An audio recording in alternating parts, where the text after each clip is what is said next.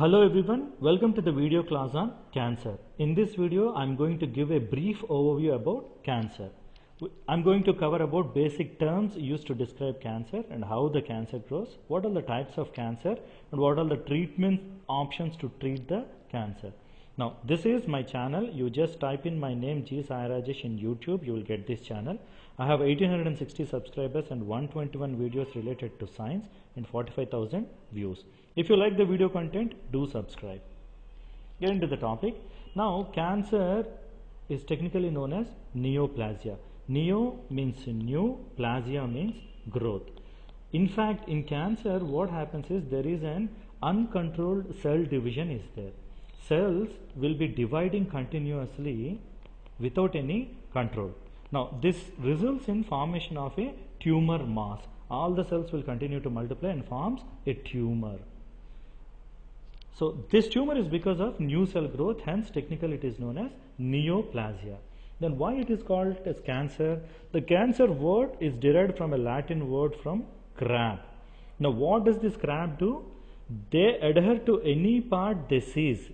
They attack and in a stubborn manner, obstinate manner. Now the cancer growth is also like this. They whenever, whenever it forms at a particular organ, the growth is very stubborn. It cannot be killed by human immunity or from the external drugs. Hence, it is called as cancer. Now, we need to understand certain terms.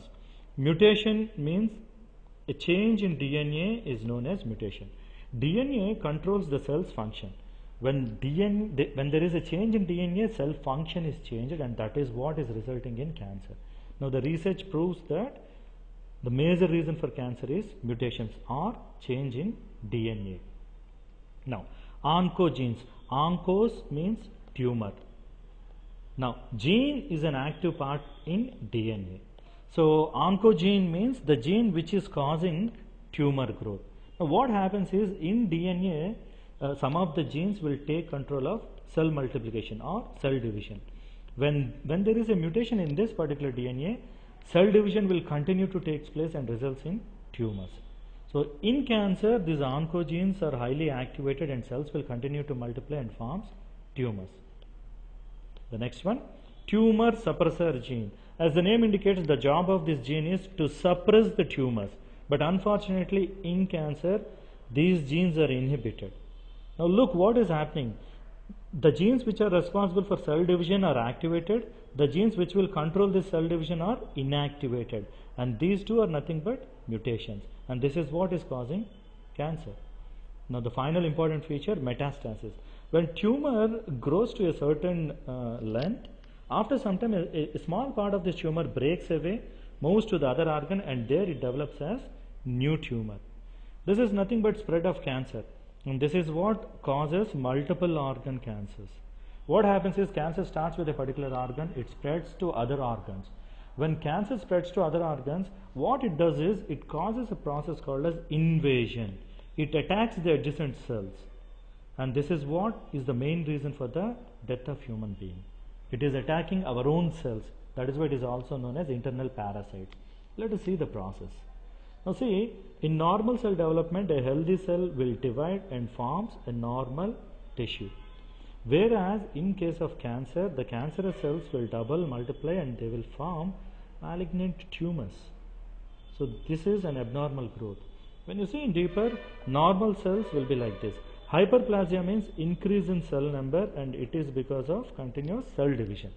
Dysplasia, there is abnormal cell growth is there. You can see these are not normal cells, they are abnormal cells. Now in cancer, this is C, this is what happens. This is a basement layer and in cancer, the basement layer is broken down because of this cancer cells. This is what is called as invasion. As I told you, the, the death in cancer is because of this invasion. They attack the adjacent cells. This is how cancer kills a human being. Now, uh, there is a difference between benign tumor and malignant tumor. Benign tumors are not cancerous. They are not cancerous, they are capsulated. That means even though the cell growth is there, they are surrounded with a particular capsule. It is called as capsulated growth. They are non-invasive. They will not attack the adjacent tissue. They grow in slow manner. They will not spread. The cells are normal. Whereas in cancer, the cells are cancerous they're not capsulated there is no capsule surrounding this one is there? And they will spread and cells are abnormal. So malignant tumors are cancerous tumors. Now see this is an overview of cancer. See these are all normal cells and the central mass is cancerous cell. It has got this blood circulation. The blood supply is known as angiogenesis means formation of new blood vessel. In order to multiply it needs blood supply so it takes up lots of blood supply and the adjacent cells will be having less amount of blood supply now once it grows it breaks this basement membrane and releases certain amount of cells. This is known as metastasis. These cells will spread through the blood circulation and attack the cells and this is how spread will occur. Moving to the next one. Now let us see in a stepwise process what happens in cancer. How does cancer form? These are all the normal cells. This is the cancerous cell growth. The cells will continue to multiply continue to multiply and they will spread to the adjacent cells. See when cells divide uncontrollably and spread into surrounding tissues it causes cancer. Uncontrolled cell division spread is nothing but invasion. It attacks adjacent cell, cells that is what responsible for human beings death. Now next one what causes cancer? See mutation there is a change in genes and that is what is causing cancer. See cancer is caused by changes to dna most cancer causing dna changes occur in sections of dna called genes. Genes are functional unit. These changes are also called genetic changes. As i have told you at the beginning we have two different kinds of genes are there. Oncogenes are responsible for causing cancer and oncogenes are highly activated. Whereas tumor suppressor genes which are supposed to control the tumors are inhibited. And these two are nothing but mutations. This is what causes cancer. Now what are oncogenes i have explained already. A dna change can cause genes involved in normal cell growth to become oncogenes see they are involved in cell growth. A dna change will cause the cell to grow abnormally. Uncontrolled cell cell growth and that particular fragment is known as oncogene whereas the next one? Tumor suppressor gene. Now see in normal cells tumor suppressor genes prevent cancer but slowing or stopping cell growth. Unfortunately in cancer the tumor suppressor genes are inhibited. So they cannot stop the multiplication of cancerous cells. Now now how does immune system interact with cancer? Normally immune system job is to attack this abnormal behavior of the cells. The basic job of immune system is to control human beings from infections like bacteria, virus. But when there is an abnormality in our human cells, the immune cells will attack. But some of the cancerous cells will evade, will escape the immune system attack and they continue to multiply. This is what is a major problem with cancer. Next, what causes genetic changes? we have seen mutations or genetic changes are responsible for cancer and what is causing them first one hereditary. Genetically people will get it from their genes and uh, unfortunately they have more expression of oncogenes. Second one uv radiation. In uv we have three kinds of radiation are there a b c. C is filtered by ozone which is very powerful but b higher exposure to b may cause skin cancer. Now chemicals are known as carcinogens. Certain chemicals exposure to these chemicals will increase the chances of getting cancer viruses like hepatitis b virus whereas hepatitis c virus epstein-barr virus and human papilloma virus. All these viruses may also cause cancer. What happens is they attack cells and they will change the genetic makeup of the cell and causes cancer. Now smoking one of the major reason for cancer is smoking. Smoking that smoke releases polyaromatic hydrocarbons and these are responsible for causing cancer and genetic changes continues to divide the cells and that is what causes cancer. Now how does age related to cancer? You can see this. See the the basic reason for cancer is dna change which is nothing but mutation. Now the dna change is very less in case of children. In adults some change is there but in senior citizens, in elderly people, the DNA change is very rampant. That is the reason why most of the elderly people are dying with cancer nowadays. The genetic changes are very high in proportion. Now, what is metastasis? As I told you, metastasis is a, is a process through which cancer spreads. Now, cancer cells, look at this, cancer cells can break away from the original tumor and travel through the blood or lymph system to distant locations in the body. So there again they will cause additional tumors and this is called metastasis. You can see, see it here. The original tumor is a colon tumor. But after metastasis, it, it spreads to the blood and, and it may attach to lungs and there it may form a tumor. It becomes a metastatic tumor.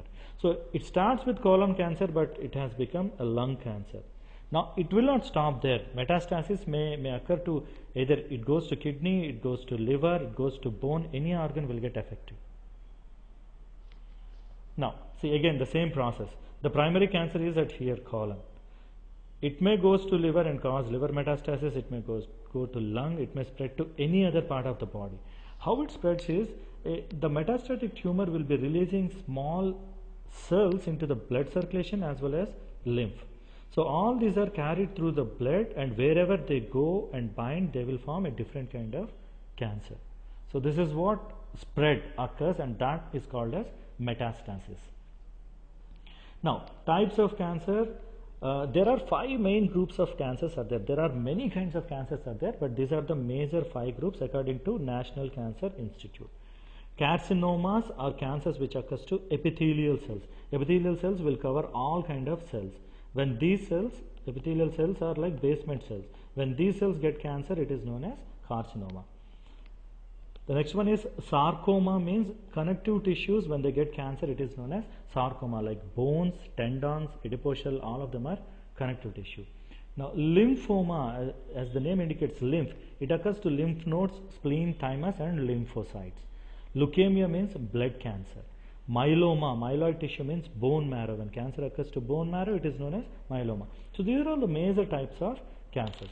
One more thing based on the tumor size Cancer can be divided into T1, T2, T3 and T4. These are all the four stages based on tumor size. When the tumor is identified in the earlier stages, chances of saving that subject is easy. But in later stages or advanced stages, the chances of mortality is very high or people will die when they when the tumor size gets into this advanced stages. Now, what are the treatment options you have? See, it all starts with if there is a possibility to remove that particular tumor, surgery is the first option. After that, cancer is treated with chemicals known as chemotherapy. Excuse me. And then radiation is given. If, if any surviving cancer cells are there, they are eliminated by using radiation. Now, remaining options are based on a particular type of cancer. In case of myeloma, bone marrow cancer, bone marrow transplantation is one of the options. Whereas testicular cancer, ovarian cancer, prostate cancer, all of them are because of hormones. In such cases, hormonal therapy is given. Immunotherapy is given to enhance the immunity so that they will start attacking cancer cells. The drugs which end with MAB, monoclonal antibodies, are a part of immunotherapy. Targeted therapy again is given to particular type of cancers, a certain type of cancer to treat cancer one. So this is about cancer overview. If you like the video, do subscribe. Thank you for watching this video.